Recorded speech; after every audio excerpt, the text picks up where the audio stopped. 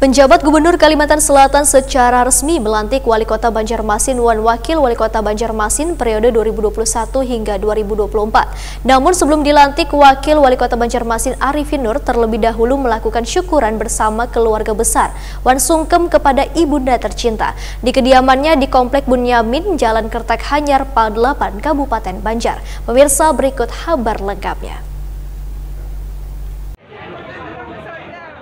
Penjabat Gubernur Kalimantan Selatan Saprija Jata secara resmi melantik Wali Kota Banjarmasin Ibnu Sina dan Wakil Wali Kota Banjarmasin Arifin Nur periode 2021-2024 di Gedung Mahligai Pancasila Banjarmasin, Jalan Suprapto Banjarmasin Tengah, jelang tengah hari Rabu 23 Juni 2021. Namun sebelum dilantik, Wakil Wali Kota Banjarmasin Arifin Nur terlebih dahulu melakukan syukuran bersama keluarga besar di kediamannya di Komplek Bunyamin Jalan Ketak Hanyar, Pad 8 Kabupaten Banjar, Baisukan Rabu 23 Juni 2021. Wakil Wali Kota Banjarmasin Arifin Nur juga sungkem kepada ibunda tercinta.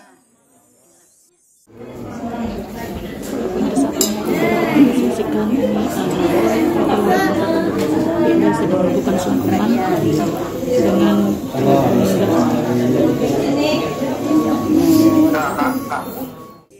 Wakil Wali Kota Banjarmasin Arifin Nur Wahid Takuni Prima TV Baisukan Rabu 23 Juni 2021 mengucapkan syukur atas ditetapkannya jadwal pelantikan ini. Arifin Nur pun berjanji akan menjalankan tugas yang telah diamanahkan demi kemajuan kota Seribu Sungai.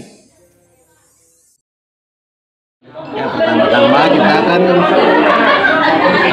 pelantikannya sudah dilakukan oleh pemerintah setelah keluarnya SK Mendagri maka dari pihak Sistem Mendagri memerintahkan kepada PJ Gubernur kepada pelantikan kepada wali kota dan wakil kota terpilih untuk kota Banjarmasin yaitu Bapak Ibnu Sina dan Nah, itu proses yang harus kita lalui dulu amanah mudah-mudahan amanah ini tentu kami berharap akan terus dibimbing oleh Allah Subhanahu wa taala agar kami diberikan keselamatan. Nah, terutama tidak melanggar aturan-aturan nah, baik aturan negara maupun aturan aturan agama harus kita taati nah, agar bisa memberikan kesejahteraan bagi masyarakat Kota Banjarmasin. Sebuah harapan dari ibunda kami Haji Masna tadi juga beliau mengharapkan agar dapat mensejahterakan masyarakat Banjarmasin sesuai dengan tahapan-tahapan nanti yang akan kita lakukan dalam visi dan misi dan uh, 20 uh, kebijakan yang akan kita lakukan. Ibunda Wakil Wali Kota Banjarmasin Hajah Masna memanjatkan doa kepada anaknya Wan berharap dapat menjalankan tugas Wan amanahnya sebagai Wakil Wali Kota yang benar-benar diharapkan oleh warga Banjarmasin. Jong apa yang salah? Kemudian mampu menghindari apa yang salah. Saja Oke. Tiap tiap perasaan uh, Pak Arifin dilantik. Bisa bangga berarti yang sudah berhasil dalam mendidiknya sejak halus kan dididik menjadi orang yang ber, berwibawa menjadi orang yang berhasil dalam anu, menjalankan